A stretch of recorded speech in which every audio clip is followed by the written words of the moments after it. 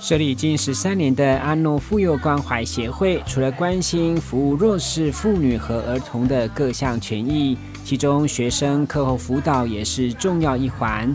对时双的心和三光网有线电视团队有感网络的普及，假新闻对社会影响持续扩大，为了让这一群国中小学生从小知道如何分辨讯息的真假。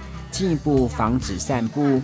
十九号下午特别到场，以了解资讯来源、检查发布日期等八步，以及要查证、不轻信、不转发，来积极推广媒体试读。每一则新闻里面呢，去看看说，哎，作者是谁？譬如说，今天来了两位记者，好，那上面我们每一则新闻都会写说，这则新闻采访的记者是谁，所以你们可以看得出来作者是谁。那也可以看得出来发布的日期是什么时候。那你要去详细的阅读看看，说，哎，这一个讯息它到底有没有什么奇怪的地方？好像哪里怪怪的，没有告诉你的一个正确的消息。会中讲师除了以假粉砖、假借专家等实际案例，让大家更清楚分辨，也通过有奖征答来验收学习成果。学生们都踊跃发言，兴致勃勃。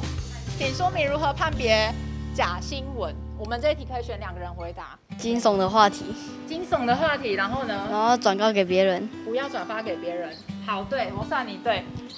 作者的名字、日期。对，好，OK，好，你们两个要记好，你们两个都各拿到一份礼物，我待会一起发，好不好？就刚刚的活动可以让我们知道有哪一些可是。真真的新闻还是假的新闻，然后也可以分辨，假如是有假新闻传传给你的话，也可以知道怎么怎么分辨，就是用哪一些软体来去分辨，就如何判别假新闻，跟防止各自被骗。